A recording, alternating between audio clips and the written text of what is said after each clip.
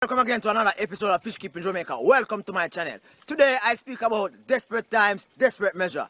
Now, uh, there's a lockdown on a lot of imports and restriction to export in my country. So how am I gonna be dealing with my fish stock? And I have a lot of fish, guys. So join me as I share with you my developed strategy as to how I am going forward. Unlike most of you who are on YouTube doing fish keeping, uh, you live in an area where uh, you live in a country where in which uh, the resources to take care of your fish for a long period of time is readily available. In Jamaica, fish flakes, uh, brine shrimp, uh, koi sticks, and high protein fish food is not uh, available um, right now. Um, in the sense that it's not readily available for a lot of persons. Well, I have my favorite place in which I go to get mine, and they are running low. Right. The thing is that because of the situation throughout the world, um, certain things are being restricted to come in and out, and you know. So, uh, how am I going to be managing my fish stock? I have goldfish, I have severum, I have tilapia, I have live bearers, Jack Dempsey, Oscar, uh, some Mbuna. I have chromide, angelfish, to name a few. What do I do so as to ensure that my fish stock is well taken care of? Um, their nutritional needs are there. Now, one thing I have um, in comparison to persons on the YouTube uh, sharing their fish rooms and all that, I have the outdoors.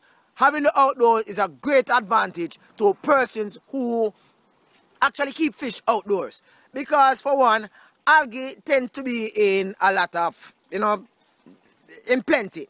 Right? Now, you have some fish, they love algae. And algae, if you never know, they have some microscopic organism on them that practically moves.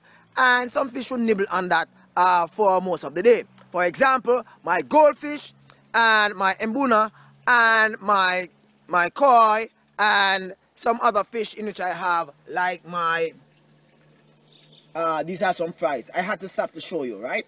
Like my um my chromide and my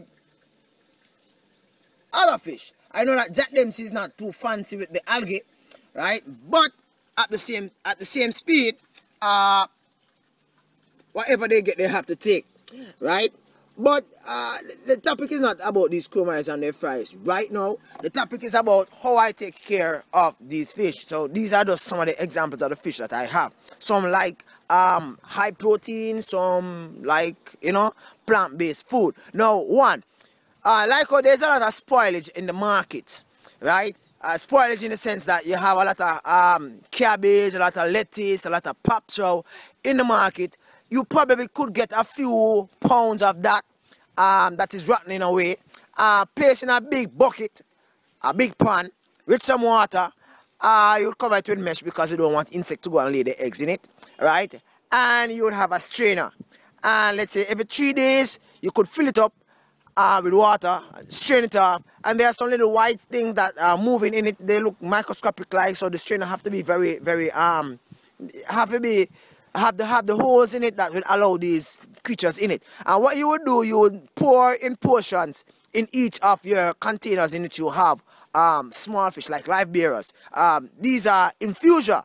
Now you can also um, breed mosquito, or you call it mosquito, uh, mosquito in a Jamaica, what them say, right?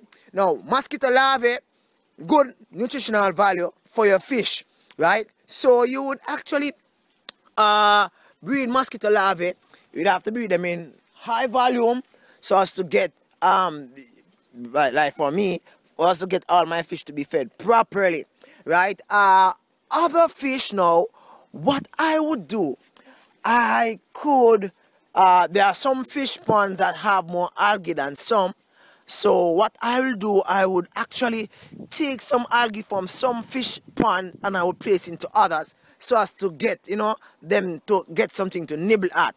Also, what I would also do is to get a pan of water and cover it so that no mosquito goes in it and to put it out into the sun so as to get what I call algae or green water and I can use this to feed my smaller fish right? My, like my betta flies that are coming on very good.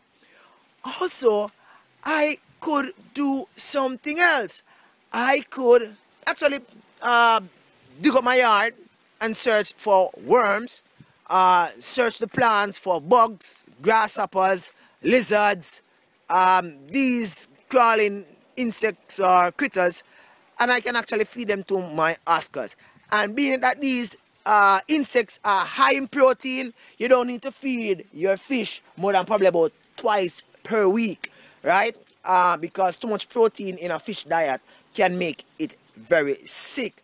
Um, I have some, what I call, I shall call them, uh, I shall call them Daphnia, but they are not Daphnia. I understand that they are what I call amphipoids, uh, am, amphipoids, amphipods, right? Uh, amphipoids or something like that, right?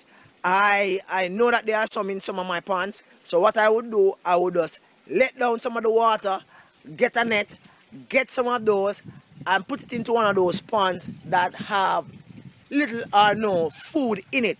Uh, my Mbuna fish should be okay because that pond is actually laced with algae and Mbuna are vegetarian based uh, fish so they like to nibble at the algae. Uh, these are some of the strategies I am intending to use. I also intend, I know that I cannot give them flour. I cannot give them, um, if I do give them flour, I would have to give them wheat because flour would actually make them constipated, right? What I could do also, I could also, and I said this in a video before, well, yeah, I said this already, I think, you, I could actually, for the larger fish like my, my Oscar and my Jack Dempsey, I could actually boil the some of the organs for my from from like let's say chicken I buy at the supermarket like um like gizzard and the heart and the kidney I could boil it without without oil and without salt and cut it up fine fine and feed in small portion to my fish. Now desperate time call for desperate measure. You'd have to actually measure the amount of this type of food that you feed to your fish because you don't want them to get too sick right? Thank you very much for stopping by. Oh i have some river fish but it's it's like useless putting them into certain ponds because they are so fast that not even the oscar nor the jack dempsey and can catch them very easily. Thank you very much for stopping by. Have an awesome day. Bye bye for now. Rally. Peace out